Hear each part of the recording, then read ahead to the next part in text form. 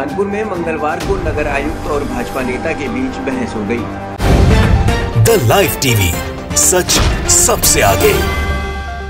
नमस्कार the live TV आप देख रहे हैं आपके साथ में हूँ आदित्य कुमार। उत्तर प्रदेश के कानपुर ज़िले में भारतीय जनता पार्टी के नेता को बदसलूकी करना महँगा पड़ गया। और वो बदसलूकी की गई थी नगर आयुक्त से।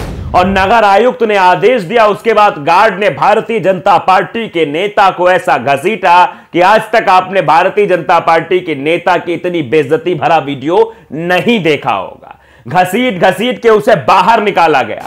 पूरा माजरा क्या है वो हम आपको बताएँगे। मामला कहाँ का है कौन कौन इसमें शामिल था, कौन भाजपा नेता, सब कुछ आपको बताएँगे। लेकिन पहले जरा आप इस वीडियो पर नज़र डाल लीजिए। इस वीडियो को ध्यान से देखिए कि इसमें भारतीय जनता पार्टी के नेता को कैसे घसीटा जा रहा है। वीडियो देखिए कानपुर में मंगलवार को नगर आयुक्त और भाजपा नेता के बीच बहस हो गई। मामला जब बढ़ने लगा तो नगर आयुक्त की सुरक्षा में तैनात कर्मियों ने पहले तो भाजपा नेता को ऑफ़िस के बाहर किया और उनके नहीं मानने पर घसीटते हुए गेट के पास तक ले गए। इस दौरान सुरक्षा कर्मियों ने भाजपा नेता को गाली भी दी। अब यह हाई वोल्टेज ड्रामा हुआ इस मसले को लेकर भारतीय जनता पार्टी के नेता की इतनी थू थू इतनी बेजती आज तक नहीं हुई थी, जो इन तस्वीरों में देखा जा सकता है किस तरीके से बेइज्जत किया जा रहा है, गार्ड उसे घसीट रहे हैं। तो चलिए पूरा मसला हम आपको बताते हैं। दरअसल ये मामला मंगलवार का बताया जा रहा है, कानपुर नगर निगम का यह मामला है। भाजपा नेता ने नगर आयुक्त के कक्ष में घुसकर उनसे बदसलूकी की। यानी नगर आयुक्त के साथ बदसलूकी की, इस पर गार्डो ने धक्का देकर उस भारतीय जनता पार्टी के नेता के अहंकार को तोड़ा और उस अहंकारी नेता को बाहर निकाल दिया। कक्ष के बाहर भी हंगामा किया तो घसीटते हुए नगर निगम से बाहर कर पुलिस को सौंप दिया। हर मंगलवार की सुबह 10 से 2 के बीच संभव पोर्टल खुलता है।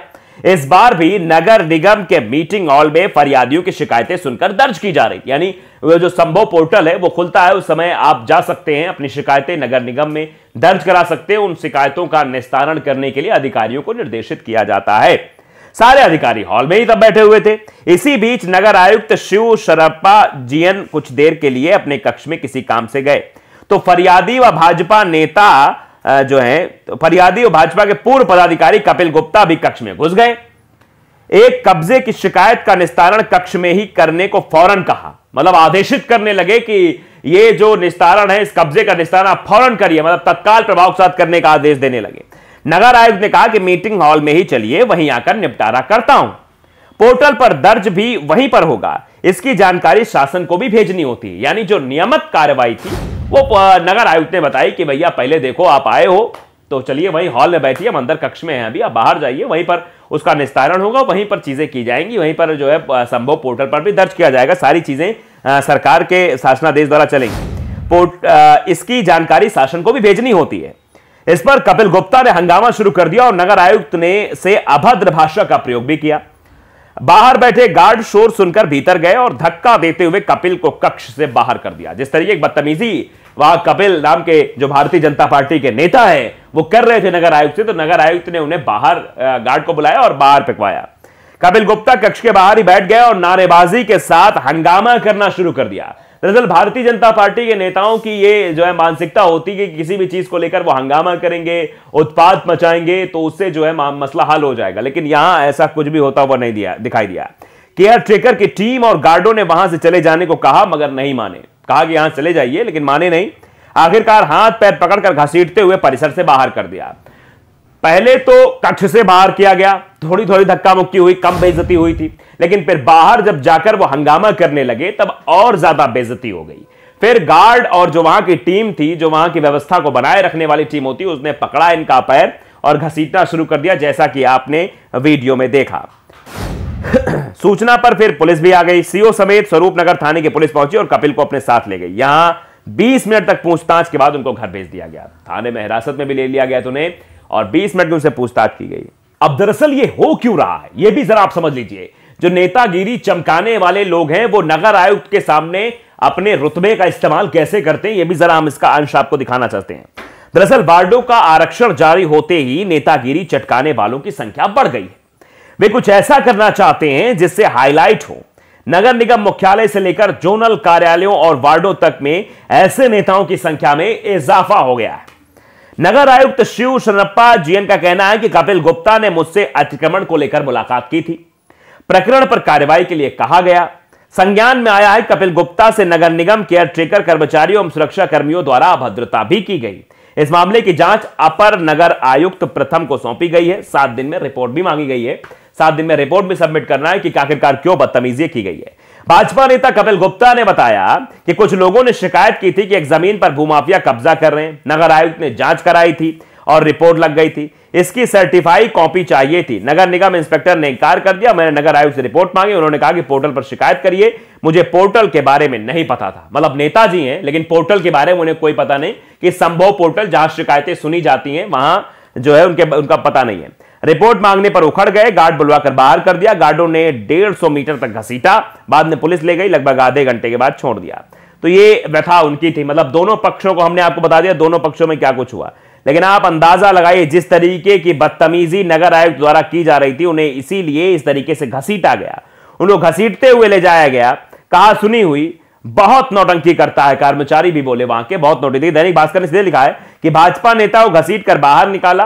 कानपुर में नगर आयुक्त से हुई कहा सुनी। कर्मचारी बोले, बहुत नौटंकी करता है। दरअसल वो 30 मिनट तक जो है बाहर बैठकर हंगामा करते रहे। और घटना के देर बाद सतीश महाना से मिलने के लिए लखनऊ रवाना भी हो गया है। मतलब वो नेता अब जो है, सतीश महाना से मिलने भी गया है। बड़े नेता शिकायत करेगा, देखो, हमारी बड़ी बेजती हुई है। नगर आयुक्त कार्यालय में हंगामा करने पहुँचे थे, वहाँ अपनी नेतागिरी चटकाने पहुँचे थे, लेकिन वहाँ नेतागिरी चटकाने की बजाय मेरी बेजती हो गई है। भाजपा नेता कपिल गुप्ता ने आरोप लगाया कि ग्वाल टोली में कुछ लोगों ने एक ज़मीन पर कब्जा किया हुआ है, उसकी शिकायत करने हम पहुँचे थे। मुझे इस मामले में नगर आयोग के पास जाने के लिए कहा गया, उसी संबंध में मैं उनसे मिलने गया। इस वजह से मेरे साथ ऐसा हुआ है। पुलिस ने मेरे साथ जो है जो मतलब बदतमीजी की है। पुलिस ने, पुलिस मुझे ले गई वहाँ पर वहाँ पर जो गार्ड थे, उन्होंने बदतमीजी की, नगर आयुक्त ने बदतमीजी की। जबकि असली हकीकत यह है कि भारतीय जनता पार्टी के नेता सत्ता का रौब दिखाते हुए नगर आयुक्त के कार्यालय में गए और बदतमीजी करने लगे। जबकि संभव पोर्टल के द्वारा सुनवाई चल रही थी, उस सुनवाई में उनको शामिल होना था, अपनी शिकायत दर्ज करवानी थी, उसके बाद कार्रवाई होती, सब कुछ होता। लेकिन वो प्रक्रिया में ना जाकर अपना नेतागिरी चटकाने के लिए कह सकते हैं, अपना रुतबा कायम करने के लिए कह सकते हैं, वो उन्होंने इस तरीके काम किया। अब जरा है कौन? जरा इसमें भी समझ लीजिए। दरअसल भाजपा नेता ये कपिल गुप्ता 2017 में सूटरगंज वार्ड से भाजपा के टिकट पर पार्षद चुनाव लड़ चुका है। कपिल गुप्ता ने बताया मेरे साथ मारपीट की भी कोशिश की गई। मतलब आप समझिए ये अब कह रहा मारपीट की भी कोशिश की गई मेरे साथ। मुझे मारा गया पीटा गया। मेरे साथ आ, मैं लखनऊ जा रहा हूँ सतीश माना से पूरे मामले की शिकायत करूँगा कार्रवाई करने की मांग करूँगा। अब इस पूरे मामले में जाँच बिठा दी गई है सात दिन बाद रिपोर्ट सौंपी जाएगी क्या कुछ होगा लेकिन फ़िलहाल तो भारतीय जनता पार्टी के नेता की करकरी हो गई है कायदे से। स्वरूप नगर एसओ राजेश कुमार शर्मा ने बताया कि मामले में नगर निगम की तरफ़ से कोई तहरीर नहीं मिली है ऐसे में कपिल गुप्ता को पूछताछ के बाद छोड़ दिया गया। तहरीर मिलने के बाद कार्रवाई की जाएगी। नगर निगम की तरफ़ से कोई शिकायत थाने में दर्ज नहीं कराई गई है। अगर दर्ज कराई जाती तो पुलिस इस पर कार्रवाई करती फ़िलहाल पुलिस ने अभी तक इस पर कोई कार्रवाई नहीं की है, ऐसा बताया जा रहा है। मामले में नगर आयुक्त ने बताया कि उसकी, उनकी मैंने पूरी बात भी सुनी, चूँकि शासन के निर्देश पर मंगलवार को संभव पोर्टल के तहत शिकायतों, शिकायतें सुनी जाती इसलिए हमने सुनी। मैंने उनसे कहा कि बगल कमरे में संभव पोर्टल शिकायत दर्ज कराएँ। मैं भी वहीं पहुँच रहा हूँ, वहीं पर पूरी समस्या का समाधान कर दूँगा। इसके बाद भी वो नहीं माने और ऑफ़िस में चिल्लाने लगे। तो जब चिल्लाने लगे, तब मजबूरन जो है गार्ड को बुलाना पड़ा और ये सब करना पड़ा जो वीडियो पे आपने देखा। लाइव टीवी को अगर आपने सब्सक्राइब नहीं किया, सब्सक्राइब ज़रूर करिए बेलाइकन दबाइए ताकि सच खबर आप तक पहुँचती रहे। नमस्कार। द लाइव टीवी सच सबसे आगे।